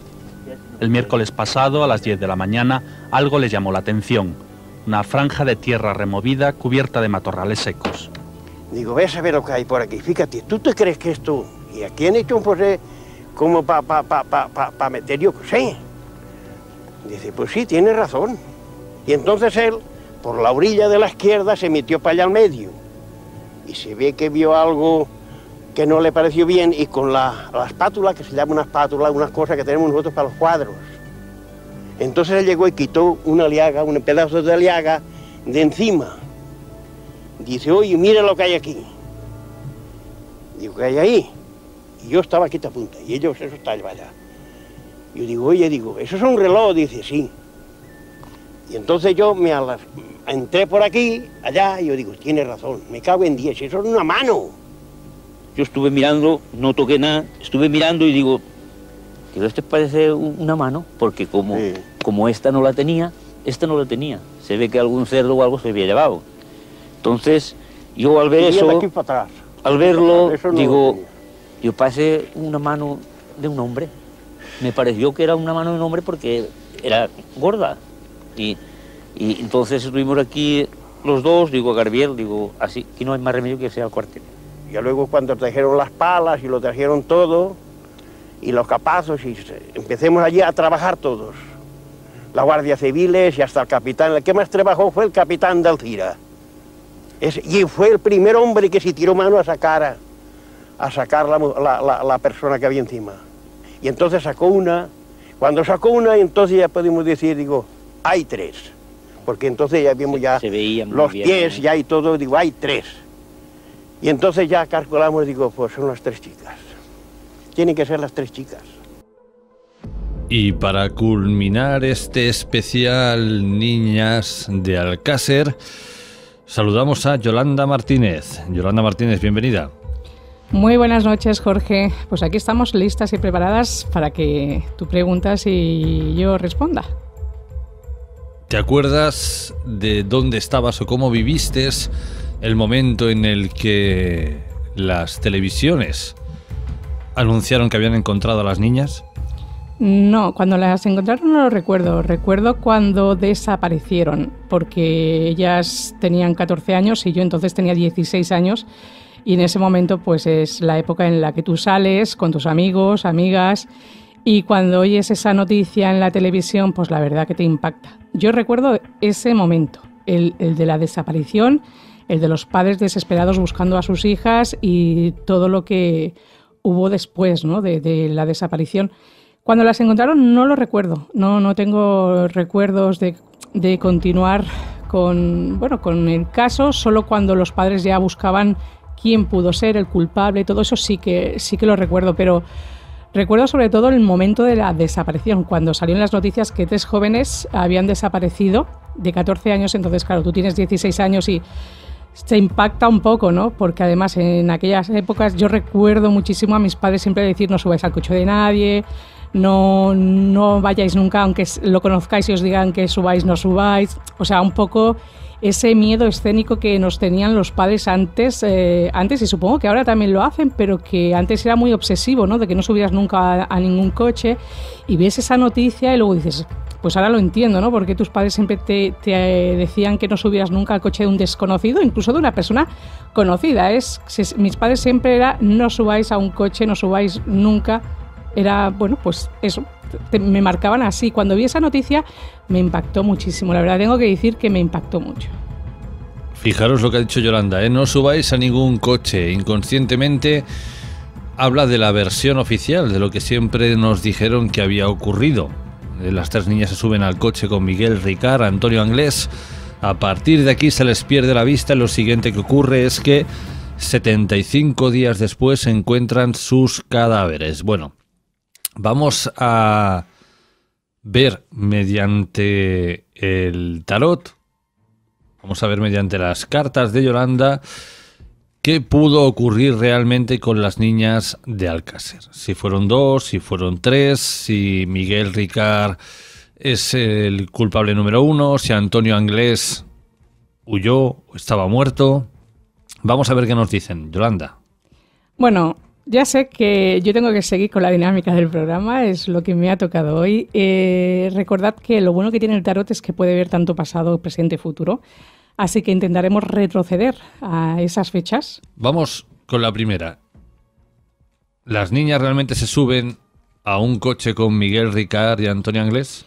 Estamos hablando de un 13 de noviembre. Un viernes 13 de noviembre del año 92.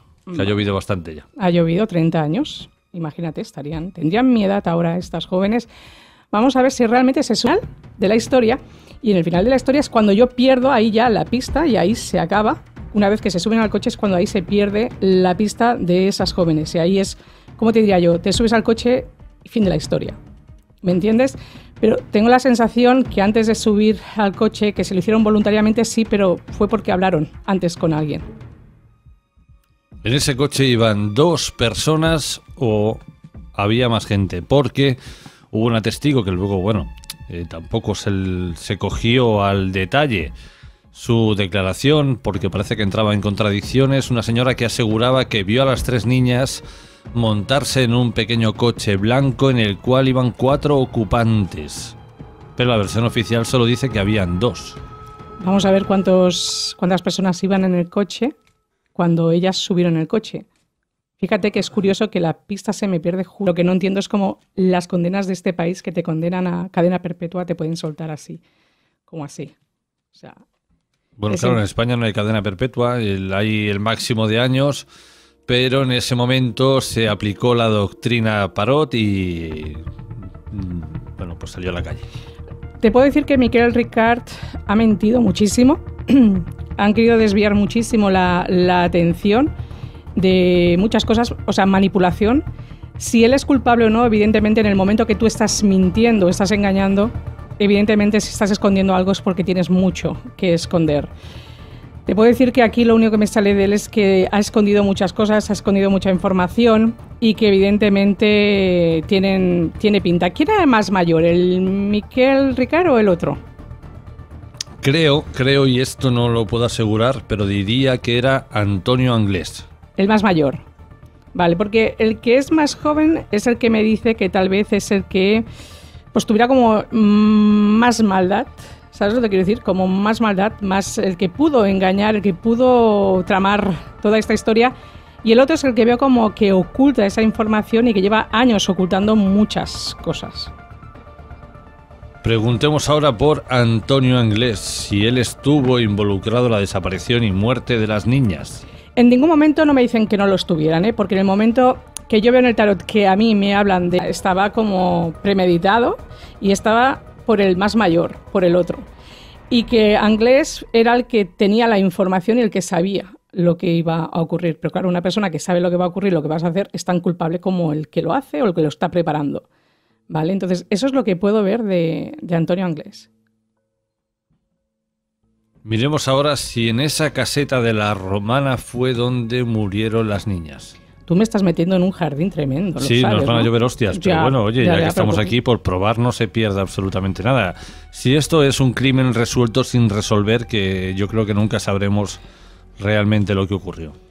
Me estás diciendo la caseta, ¿me das algo más? La caseta de la romana es donde Las supuestamente violaron y asesinaron a las niñas y que está muy cerca, A Toñi, Desire y Miriam. exactamente, y que está muy cerca de esa fosa donde luego encontraron los, los cadáveres. Según el testimonio de Ricard, que dijo después que ese testimonio había sido bajo tortura por parte de la Guardia Civil, eh, las habían torturado, violado y matado en esa caseta del paraje de la Romana. Es que allí donde las llevaron, en el sitio donde las llevaron, es ahí donde le hicieron todo. ¿Vale? O sea que si fue ahí donde las encontraron, pues puede ser ese lugar. Pero fue donde las llevaron, por eso cuando me salía lo del coche, que subieron al coche, estas niñas al subir al coche, ahí su destino era su destino final, conforme ya eh, les iba a ocurrir lo que les iba a ocurrir, sí, pero tiene toda la pinta de que fuera en ese mismo lugar donde se las encontraron. Porque me sale justo donde me has dicho, eh, ahí de los dos chicos, ¿vale? Y me vuelve a salir lo mismo. Siempre el, círculo es el, mismo.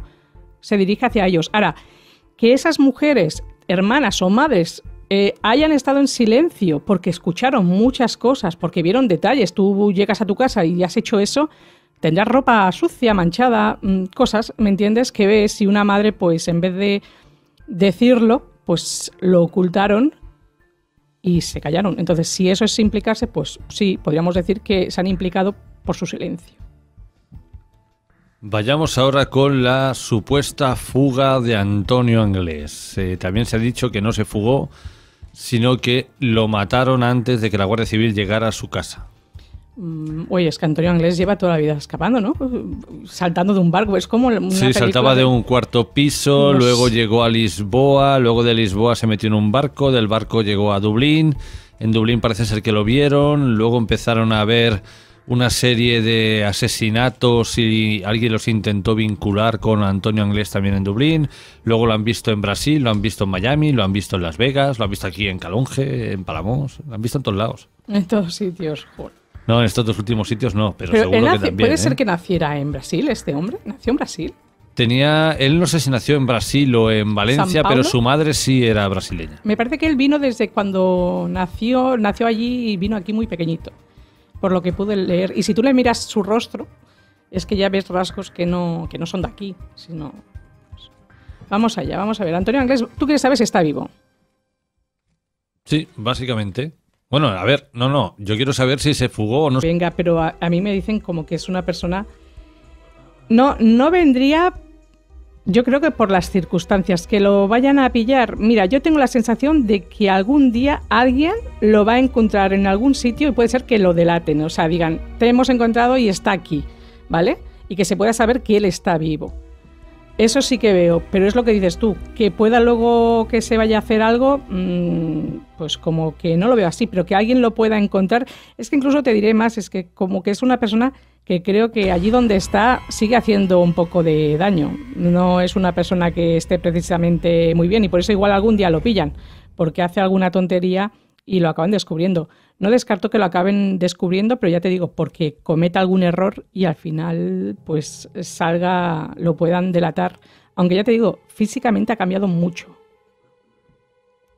Bueno, estaremos pendientes de cómo evoluciona todo.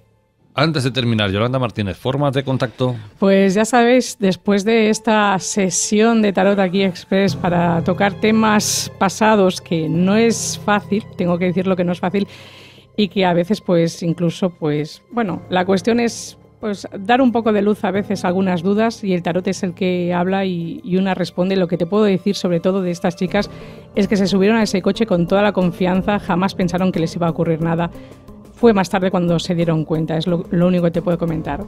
Formas de contacto, ya sabéis, tengo mi Instagram, Yolan Marbau, ahí os espero. Cada sábado subo un vídeo a quien le guste y le apasione el mundo del tarot para que vea cómo le irá la semana. Y también, si queréis una consulta conmigo, me podéis escribir al 647-552-954. Hasta la semana que viene. Hasta la próxima semana.